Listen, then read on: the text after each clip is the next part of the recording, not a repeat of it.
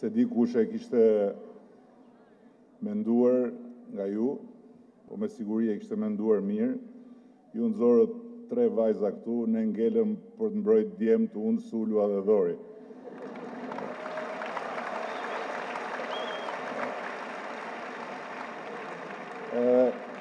Kuptohet që jemi në dizavantazh, Edhe një shpresë që mund t'ju përballojmë me gjatësi humbi se prezantuesen e kishit në lartësinë e duhur. Kështu që tani nuk mbetet veçse fjala në emër ose në vazhdim të tre djemve pa kapele, unë nuk e vura se nuk më bën në fakt, e kam pas gjithmonë problem me kapelet që nga zbori, Megjithatë sot është një surprizë shumë e bukur për mua që më bëtë nderin me këtë ftesë në ditën që ju diplomoheni dhe kurorëzoni një ëndërr të parë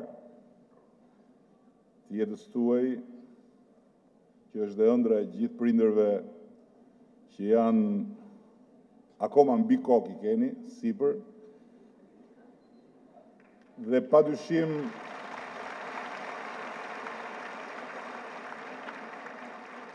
është fillimi për ju i një rruge me shumë ëndrra, me shumë shpresa, me shumë dëshira.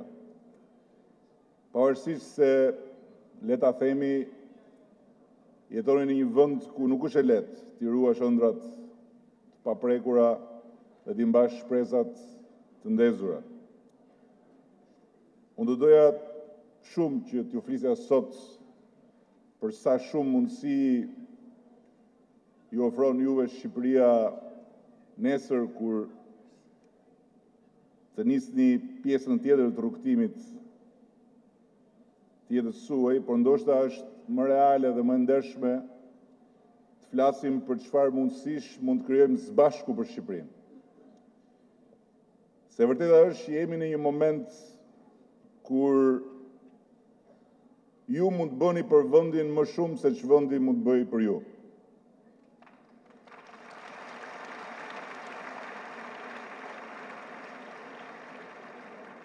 Dhe unë jam i bindur që edhe falë jush nesër vendi do të jetë në gjendje të bëjë më shumë për ata që do të vijnë pas jush në këtë universitet dhe do të diplomohen nga ky fakultet.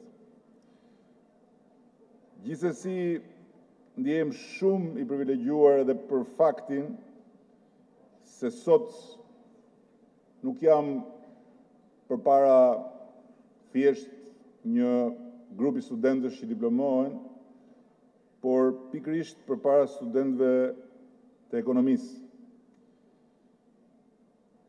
me të cilët lidhet një pjesë e mirë e pyetjeve që kërkojmë përgjigje në rrugën e vështirë po të domosdoshme të zhvillimit ekonomik të vendit. Do ishte ndoshta shumë më mirë po të kishim mundësinë sot që unë t'ju thosha se situata ekonomike është shumë e mirë, se tregu është aty gati për t'ju përqafuar dhe për t'ju akomoduar në një vend pune. Por ne e dimë që e gjitha kjo në fakt është pak më e ngatërruar se kaq dhe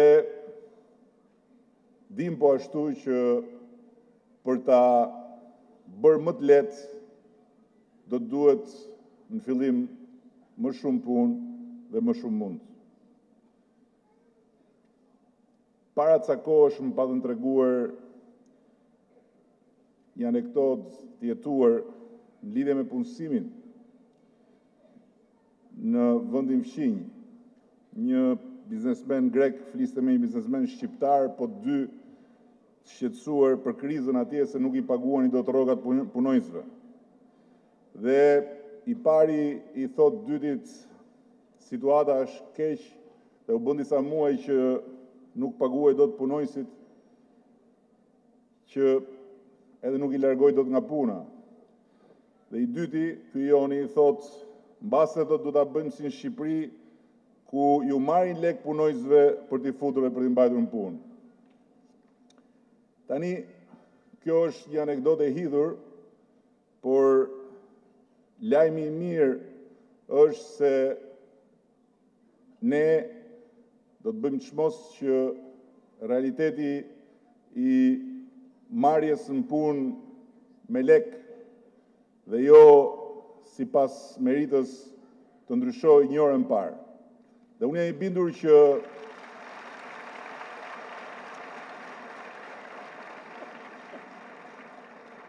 shumë nga ju nesër Dhe kur flasim nesër për ju është nesër, nesër në fakt, nuk do të përballeni me këtë realitet të shëmtuar, por do të keni mundësinë të merrni pjesë në konkurse për të provuar aftësitë tuaja dhe për të gjithë ata që do të duan që dijet e tyre t'i vënë në shërbim sektorit publik, Jo vetëm do të jetë e mundur që ta bëjnë këtë, por do të jetë e mundur që të kenë një vend në sektorin publik falë dijeve dhe meritës së tyre. Megjithatë, sfida për të gjeneruar vende të reja pune përtej tejkalimit të këtij fenomeni të shëmtuar të së shkuarës është më e vështirë se kaq. Dhe ekonomia e vendit tonë po kalon një ndër momentet e veta më të vështira, besoj, për arsye që nuk janë po ato shumë vite më parë, por që njësoj si herë tjera vite më parë, na duhet të bëjmë një kapërcim të ri. Dhe unë besoj që edhe për këtë arsye, kjo që po ndodh këtu sot është diçka e mirë për vendin dhe kjo ditë, dita e diplomimit tuaj, është diçka shumë e mirë për vendin. Ashtu sikundër është ogur i mirë për vendin që ndër ju Ka jo pak që diplomohen me rezultate të shkëlqyera, madje dhe me medalje ari dhe në radhë të parë atyre unë dua t'u përulem me shumë respekt dhe me shumë admirim.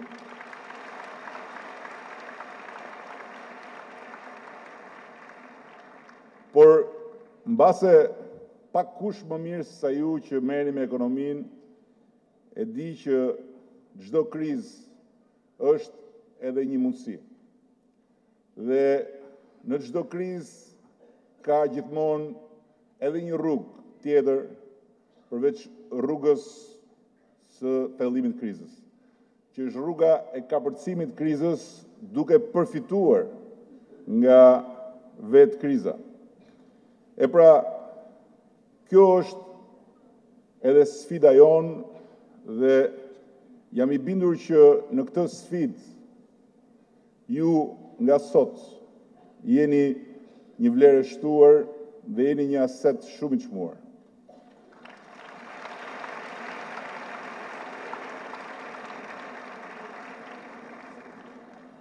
Duke qenë se të marrit me politikë përditë, përditë, përditë, Nuk është një punë që të mban detyrimisht gjithmonë të freskët dhe të gatshëm për të folur në raste kaq të veçanta si ky. Unë u mundova të pyes Dy tre njerëz që i çmoj se çfarë mund të thosha sot një gjë më shumë se sa këto fjalët e zakonshme, sepse ky është një moment i jashtëzakonshëm dhe dikush më këshilloi të flas për punën e një profesori të madh të Harvardit që është edhe miku im, Ronald Heifetz, që sot konsiderohet një nga mëndjet më të ndritura të teorisë së ndryshimit. Dhe Heifetz i karakterizon sfidat e ndryshimit në dy lloje, sfida teknike dhe sfida që ai quan adaptive. Problemet që mund t'i zgjidhim përmes dijes ekzistuese të ekspertëve ai i përcakton si sfida teknike. Ndërsa problemet që duan një bashkërendim më të gjerë se thjesht ekspertiza teknike ai i quan sfida adaptive. Sfida që kanë lidhje me ndryshimin e mënyrës të menduarit dhe funksionimit të disa gjërave për të bërë të mundur që gjëja me të cilën përballemi të ndryshojë. E pra kjo është një qasje shumë ndriçuese sepse dhe vetë momenti që po kalojmë na detyron të përballemi pikërisht me një sfidë adaptive. Sfidë që kërkon t'i përgjigjemi disa pyetjeve thelbësore për shoqërinë, për modelin ekonomik, për llojin e sipërmarrjeve, për kulturën e punës, për çfarë presim nga shteti, për raportin mes publikes dhe privates dhe për kontributin e secilit në atë që është në fund fundit e përbashkëta nga ku pastaj secili kërkon të përveçmen. Momenti ku gjëndemi në terma teknik është mbi të gjitha besoj unë një krizë e borxhit. Borxh që nuk u krijua sot, por që ne sot jemi shumë të vendosur që ta trajtojmë me të gjithë përgjegjësinë që na imponon e ardhmja. Nga ana tjetër ama, e menduar gjerësisht në kontekstin e ndryshimit të funksionimit të disa gjërave në tërësi, Kriza e borxhit dhe dua ta ndaj me ju këtë mendim, besoj se hyn tek sfidat adaptive. Nuk është thjesht një sfidë teknike, për aq sa na imponon krijimin e një raporti të ri mes të tashmes dhe të ardhmes.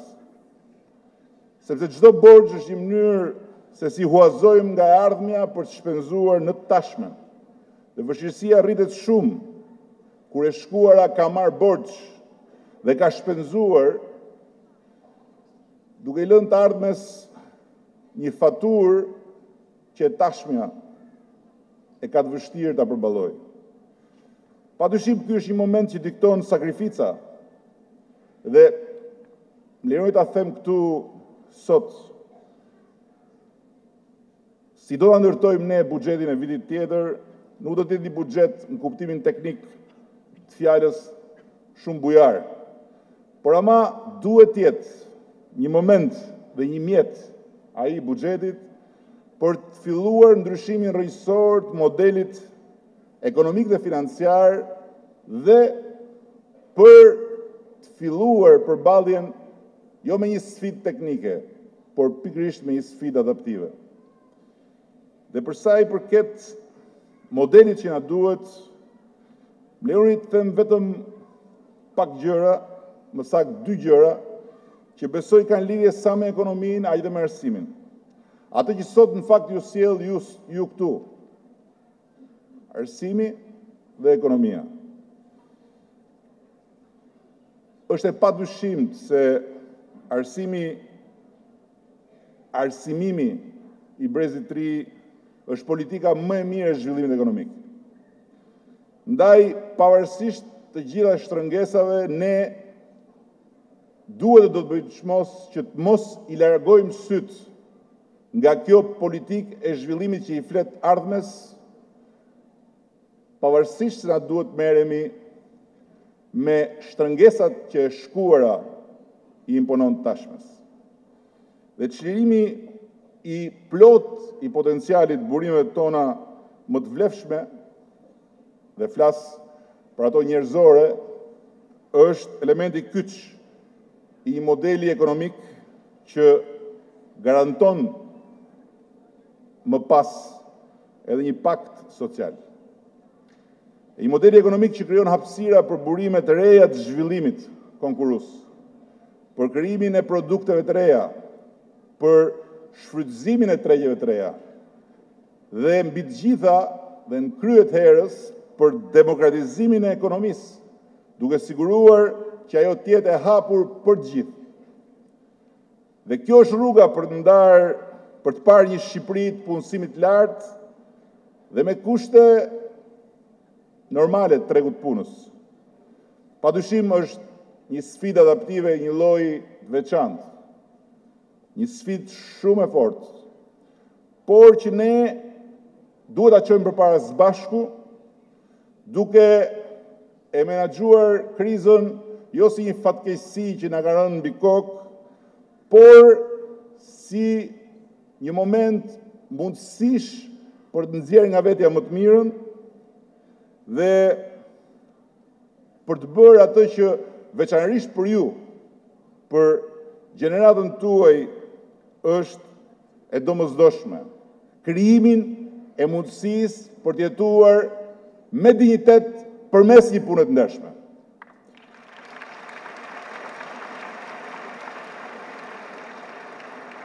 Dhe le ta themi, ndryshimi që duhet të presim në përballjen me këtë sfidë nuk është një rezultat, por është një proces.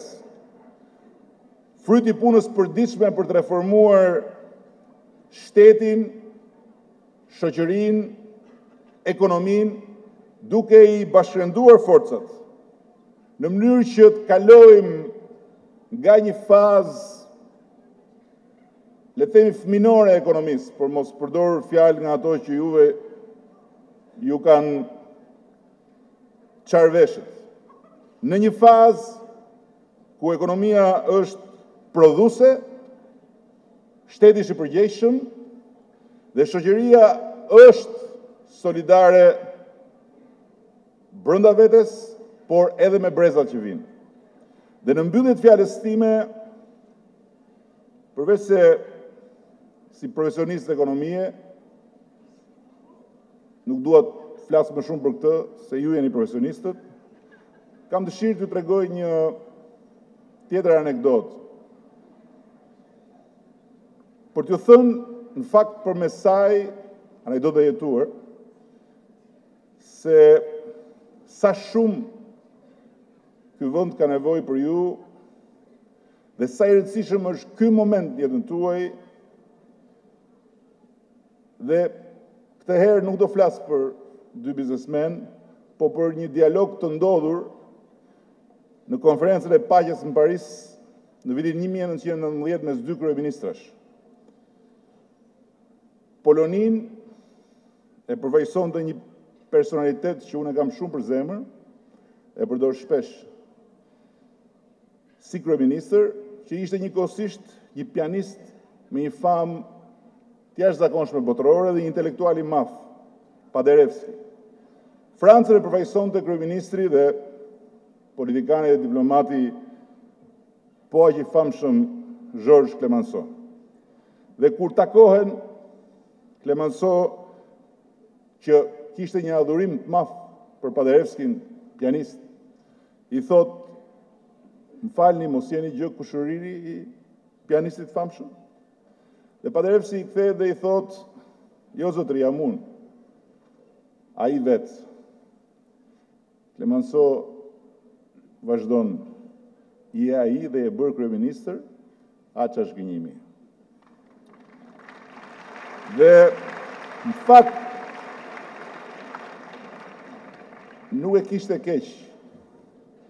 Sepse për një vend është shumë më i rëndësishëm profesionisti se kryeministri. Dhe që vendi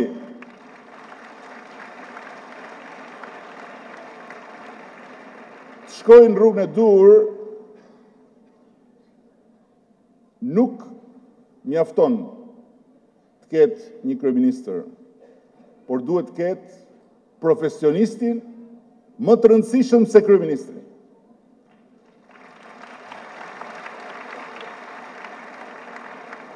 Tani unë e di që ju prisni shumë gjëra nga shteti.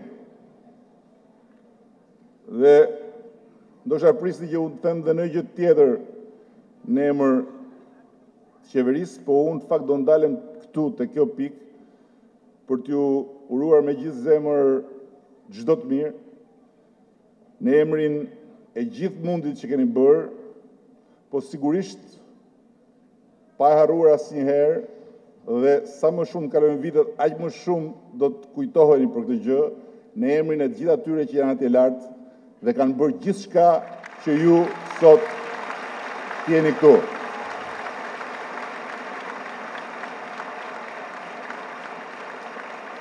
Dhe jo